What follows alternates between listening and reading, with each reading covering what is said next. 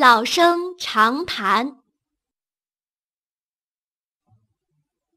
三国时代，魏国有个名叫管路的人，他从小就喜欢天文，常常整夜整夜的不睡觉，坐在院子里仰视天上的星星，就连父母也管不住他。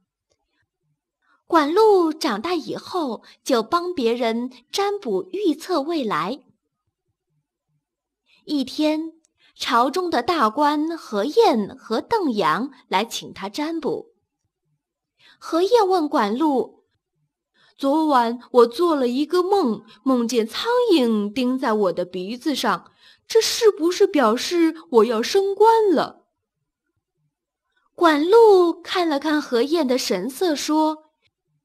您现在的官位已经很大了，很多人都怕您。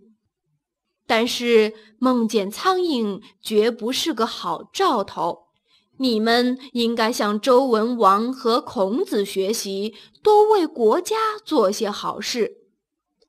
邓阳在一旁很不耐烦地说：“你讲的这些话都是老生常谈，我早就听烦了。”管路委婉地说：“老生常谈的话，不可不听呀。”后来，何晏和邓阳因为干的坏事太多了，最终被处死了。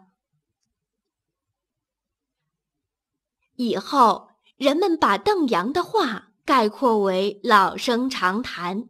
用来形容所说的言论毫无一点新鲜的内容，没有什么意思，含有鄙弃的意味，有时也用作自谦之词。